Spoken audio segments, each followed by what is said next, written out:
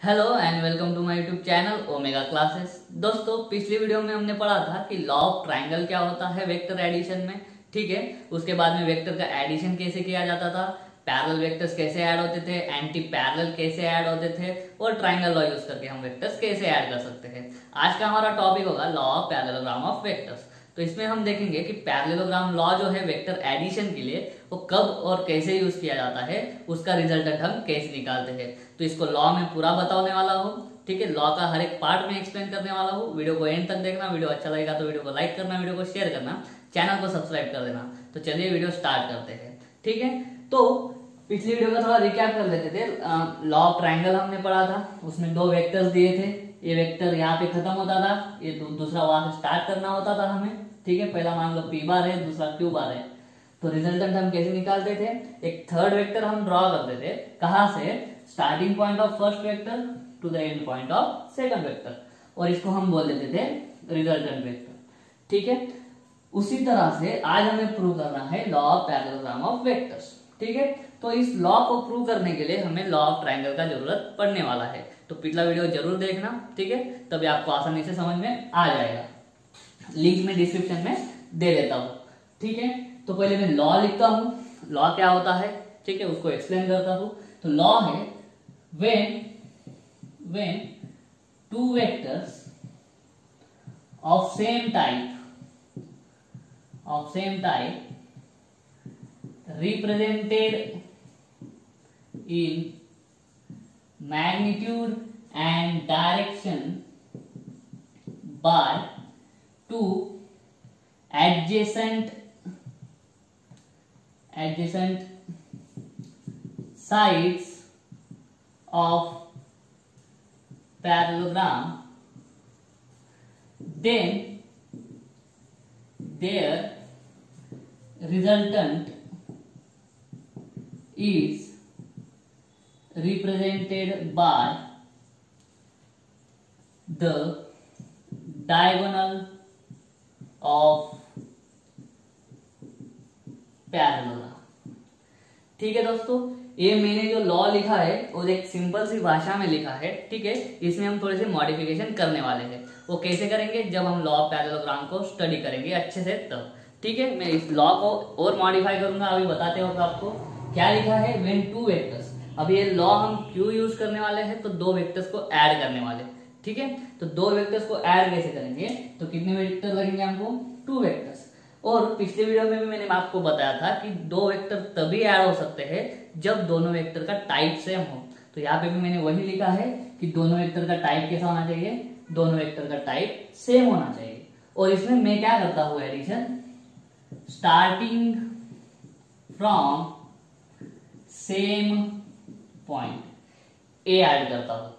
Starting from same point triangle law में क्या होता था? एक वेक्टर खत्म होता था, तब दूसरा वेक्टर स्टार्ट किया था हमने। लेकिन इसमें क्या होने वाला है? इसमें दोनों वेक्टर एक ही पॉइंट से स्टार्ट होंगे, दोनों का डायरेक्शन अलग अलग होगा। ठीक है, ये लॉ ऑफ़ ट्राइंगल और पैरेललोग्राम का डिफरेंस ठीक से समझ लो। ट्राइंगल में क्या होता था? एक वेक्टर खत्म होता था, उसके बाद में दूसरा स्टार्ट होता था। ठीक है, लेकिन ये लॉ ऑफ़ पैरेललोग्राम में क्या होगा? दोनों वेक्टर एक ही पॉइंट से स्टार्ट होने वाले हैं। ठीक है, ये एक डिफरेंस है लॉ ऑफ़ ट्राइंगल और पैरेललोग्राम में क्या होने वाला है? दो वेक्टर्स होंगे, वो सेम टाइप के होंगे, और कैसे होंगे? Starting from the same point एक ही पॉइंट से वो दोनों स्टार्ट होने वाले हैं। Are represented in magnitude and direction उनको रिप्रेजेंट करेंगे मैग्नीट्यूड एंड डायरेक्शन में। किसका हेल्प लेके by two adjacent sides of parallelogram parallelogram को चार साइड्स होती है। उसमें से दो साइड्स लेंगे, वो कौन सी साइड्स होनी चाहिए? एडजेसेंट साइड्स होनी चाहिए। दो एडजेसेंट साइड को यूज़ करके हम दो सेम टाइप के वेक्टर्स रिप्रेजेंट करेंगे, ठीक है? और पैरेललोग्राम देन देयर रिजल्टेंट तो उन दो वेक्टर्स का रिजल्टेंट हम कैसे निकालेंगे? तो उस वेक्टर को भी रिप्रेजेंट करना होगा then there vector is represented by the diagonal of the parallelogram तो डायगोनल को दो पैरेलल सॉरी पैरेललोग्राम को दो डायगोनल्स होते हैं। तो कौन सा वाला डायगोनल रिजल्टेंट लेना? तो इसके आगे मैं लिखता हूँ स्टार्टिंग नीचे लिखता हूँ स्टार्टिंग फ्रॉम सेम पॉइंट जिस पॉइंट से, जिस पॉइंट से दोनों वेक्टर स्टार्ट हुए हैं, उसी पॉइंट से हमें क्या करना है? रिजल्टेंट वेक्टर को स्टार्ट करना है। ठीक है? उसी पॉइंट से हमें क्या निकालना है? पैरेललोग्राम का डायगोनल निकालना है। ठीक है? तो मैं डायग्राम बना के आपको समझाता हूँ। मान लो, कोई एक पॉइंट है। इस पॉइंट से दो वेक्टर ओरिजिनेट होने वाले हैं। मान लो एक वेक्टर का नाम है पी बार और इसी पॉइंट से दूसरा वेक्टर निकलने वाला है, जिसका नाम है क्यू बार दो वेक्टर्स है, ये दोनों सेम टाइप के हैं starting from the same point है. यहाँ से दोनों स्टार्ट हो रहे एक इधर है और एक ऊपर. ठीक है? Starting from the same point इनको हमने रिप्रेजेंट कर दिया.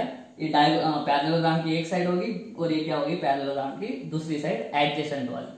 तो हम क्या करते हैं? इस लॉ के अनुसार मैं क्या करता हूँ?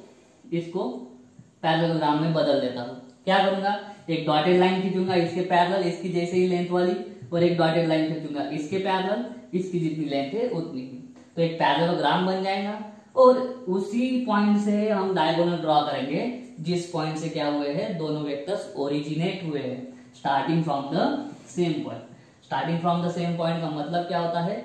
जिस पॉइंट से ये दोनों वेक्टर स्टार्ट हुए हैं, उसी पॉइंट से हमें डायगोनल को भी स्टार्ट करना है। तो ये जो डायगोनल बन जाएगा पैरेललोग्राम का, ये वाला डायगोनल होगा आपका रिजल्टेंट वेक्टर ठीक है? तो दोस्तों, ये था law of parallelogram of vectors क्या था? दो टाइप दो वेक्टर्स थे सेम टाइप के सेम पॉइंट से स्टार्ट हो रहे थे।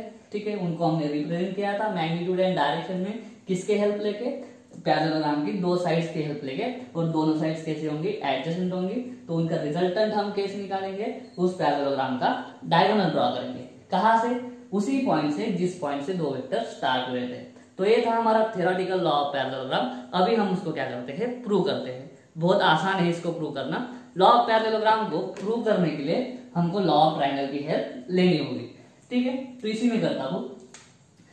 मान लो, एक वेक्टर है पी बार और दूसरा वेक्टर है क्यू बार इन दोनों को हमें ऐड करना है। ठीक है?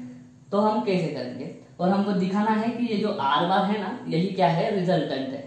ये दो वेक्टर जिनको हमने रिप्रेजेंट किया है एडिशन साइड से, उनका ये जो डायगोनल है वो रिजल्टेंट है, ये हमें प्रूव करना है। तो इसको प्रूव करने के लिए मैं क्या करता हूँ, ये जो क्यू बार है, उसके ही जैसा इक्वल वेक्टर ड्रॉ कर लेता हूँ, ठीक है? ये हो गया इक्वल वेक्टर ठीक? तो मैं इसको प्रोजेक्ट यहाँ पे कर सकता हूँ, इसके इक्वल वेक्टर में ड्रॉ कर सकता हूँ। तो इसका जो मैग्नीट्यूड है वही है, इसका मैग्नीट्यूड है।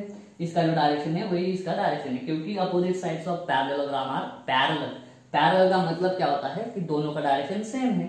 और अगर दोनों की लेंथ भी सेम है तो दोनों का मैग्नीट्यूड भी सेम है।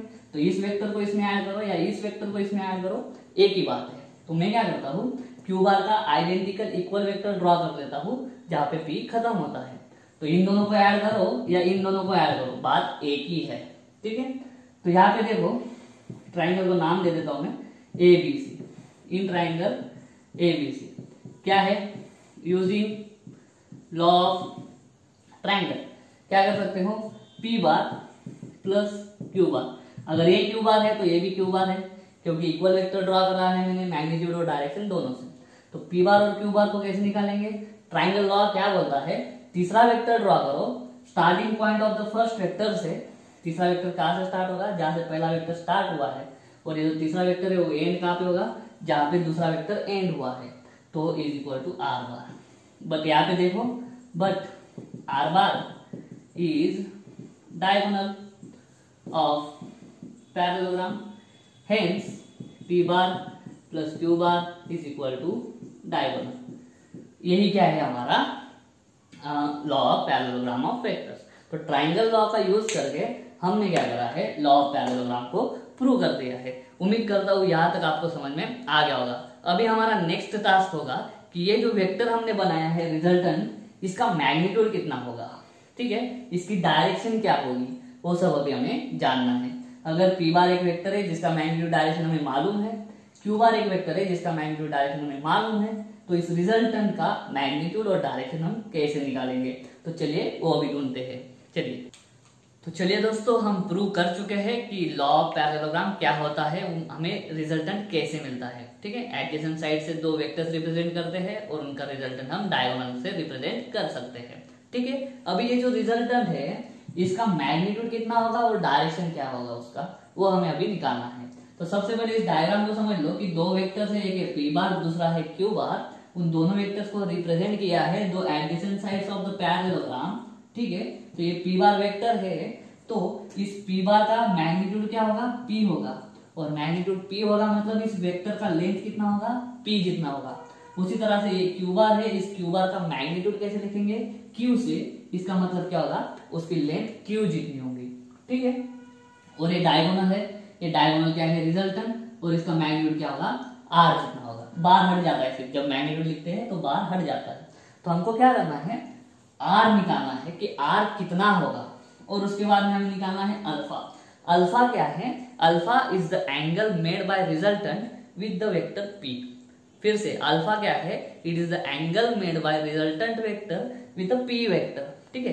एंगल निकालना मतलब डायरेक्शन निकालना। ठीक है? अभी फिजिक्स में जब भी हम डायरेक्शन निकालेंगे, क्या निकालेंगे? एंगल निकालेंगे। और वो एंगल भी किसके साथ में निकालेंगे? पॉजिटिव एक्स एक्सिस के साथ में। यहाँ पे पॉजिटिव एक्स एक्सिस पे हमको हमने किसको रखा है? वेक्टर पी को रखा है। तो पी बार के साथ में हम एंगल निकालने वाले हैं। वो एंगल कौन सा होगा? अल्फ़ा इसके लिए हमें चीज़ें क्या क्या मालूम होनी चाहिए? हमें मालूम चाहिए कि पी कितना है मतलब पी का लेंथ कितना है पी वेक्टर का क्यू कितना है मतलब क्यू वेक्टर का मैग्नीट्यूड कितना है, और दोनों वेक्टर के बीच में जो ये थीटा लिखा है ना, ये थीटा क्या है? Angle between both vectors P bar और क्यू बार के बीच का एंगल थीटा है। और रिजल्टेंट जो एंगल बना रहा है, वो कितना है? अल्फ़ा है। तो डायरेक्शन निकालना है मतलब अल्फ़ा निकालना है और मैग्नीट्यूड निकालना है मतलब आर निकालना है। ठीक है? तो स्टार्ट करते हैं। इसके लिए हमें कंस्ट्रक्शन करना पड़ेगा। ठीक है? देखिए क्या है। इस आर की तरफ़ जब हम देखेंगे तो हमको हाइपोटेनियस जैसा दिखता है। ठीक है? हाइपोटेनियस निकालने के लिए हमको पाइथागोरस लगेगा। लेकिन यहाँ पे हमको राइट एंगल ट्राइंगल नहीं मिल रहा है। तो हम क्या करेंगे? राइट एंगल ट्राइंगल बनाएँगे। ठीक है? तो मैं क्या करता हूँ? इसको पहले नाम दे देता हूँ। A B C D quadrilateral A B C D is parallelogram ठीक है? मैं कंस्ट्रक्शन करता हूँ।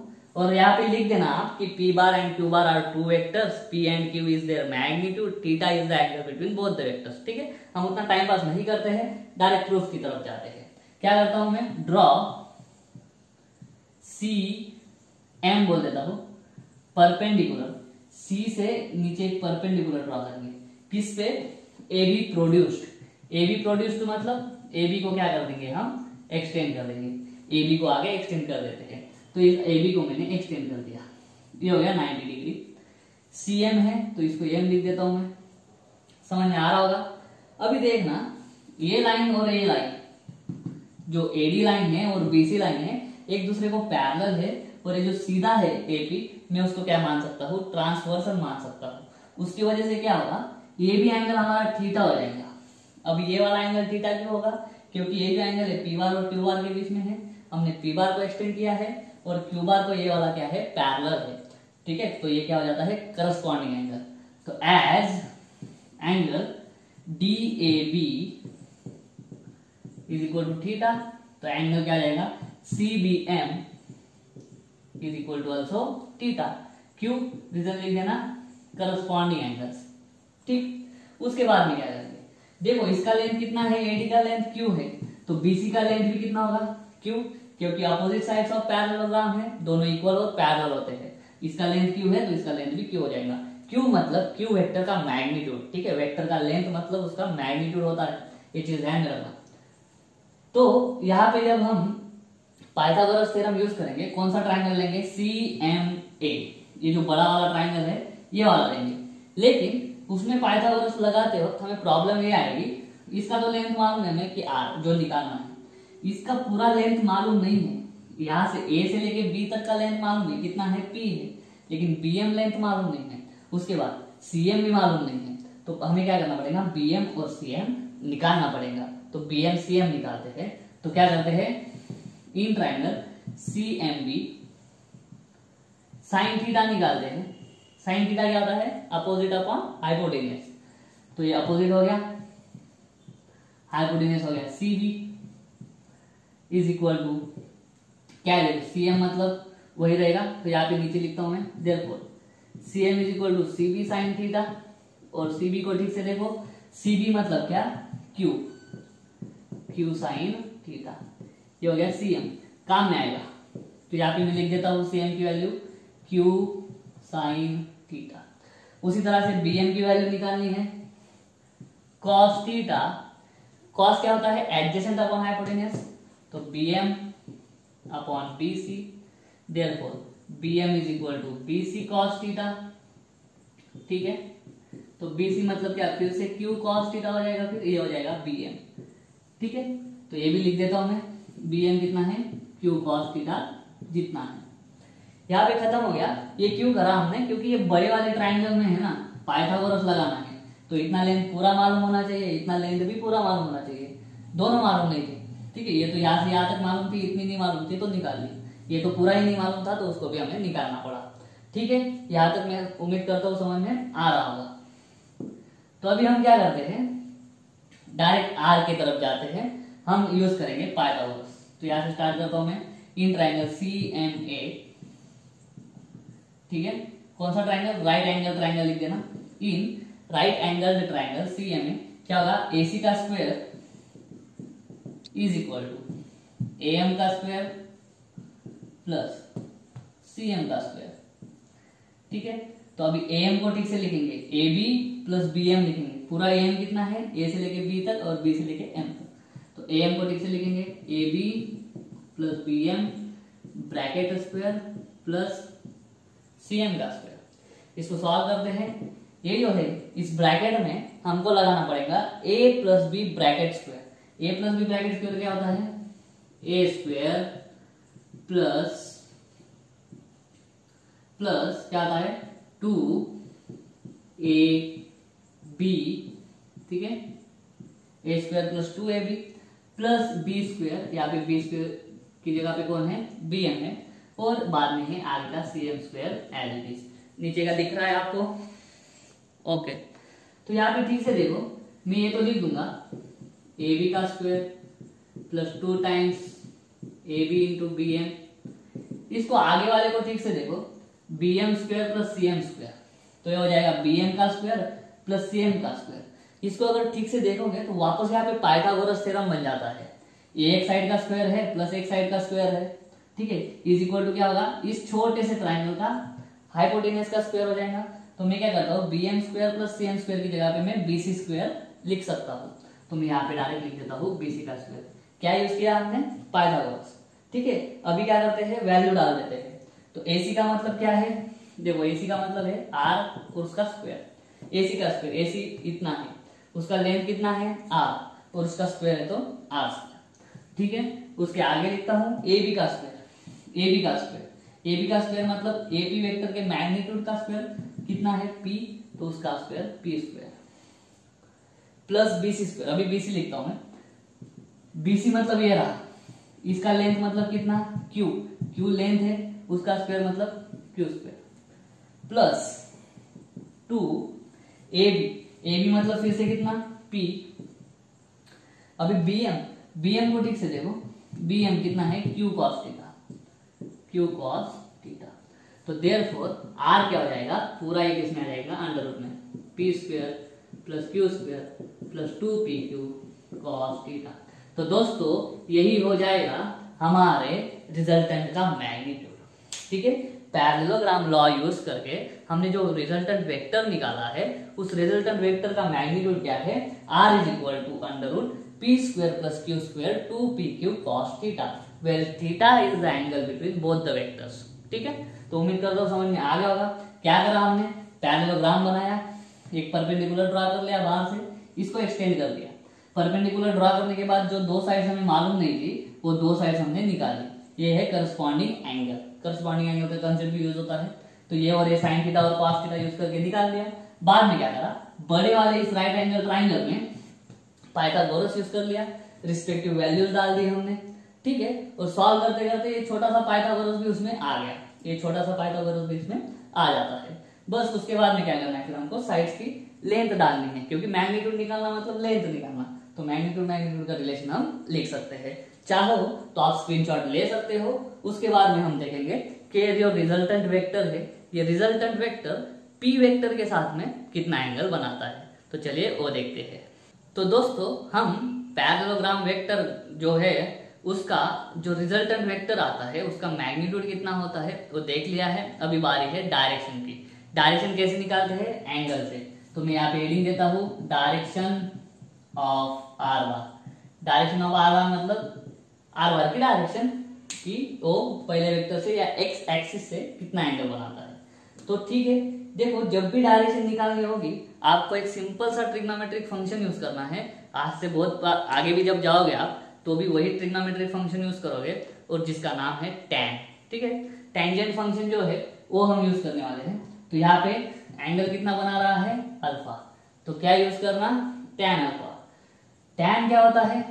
अपोजिट अपॉन एडजेसन तो अपोजिट साइड कितनी है? ये रही। तो tan alpha is equal to C M upon adjacent क्या है तुम्हारी? ए एम ए एम तो सी एम की वैल्यू डाल दो। क्यू साइन थीटा और ए एम की वैल्यू डाल दो। A to B plus B to M A to B कितना है? P plus B to M कितना है? क्यू कॉस थीटा ये हो गया आपका टैन अल्फ़ा तो सिर्फ़ एंगल निकालना। डायरेक्शन मतलब क्या निकालना? सिर्फ़ एंगल निकालना।